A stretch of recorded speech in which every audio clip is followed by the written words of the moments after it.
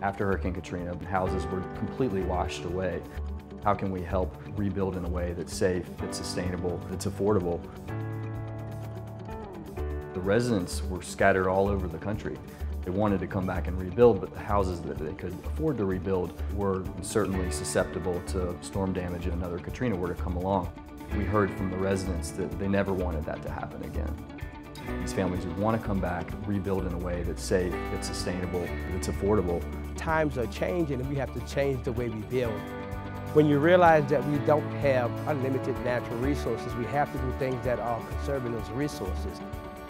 People in New Orleans are innovators by choice. Why shouldn't we in New Orleans be the pioneers of green building techniques? We don't want to just make these houses energy efficient. Why don't we make them produce energy? Look at the solar panels, the inverters, the green products inside. If you build wiser and you build stronger, everybody wins. Rebuilding a community is about a lot more than just building houses. And so we're working with uh, the residents to try to make sure that this community that we're helping rebuild is sustainable for the long term. We were a community that cared about each other and looked after each other. And that same community is coming back.